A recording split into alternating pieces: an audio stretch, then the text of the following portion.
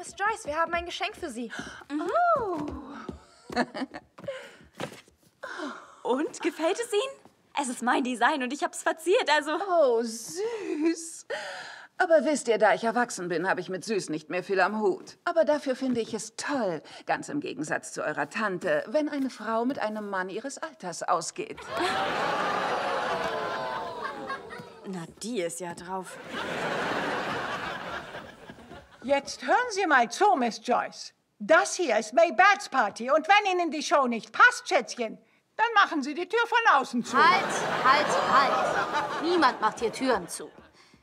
Wir sollten darüber reden. Pure Energieverschwendung, Coco. Joyce hört nur das, was Joyce hören will. Lass mich nur machen. Hören Sie, Joyce.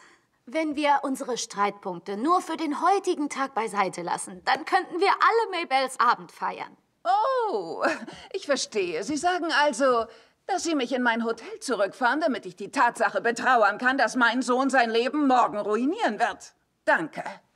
Ich warte vor der Tür auf Sie.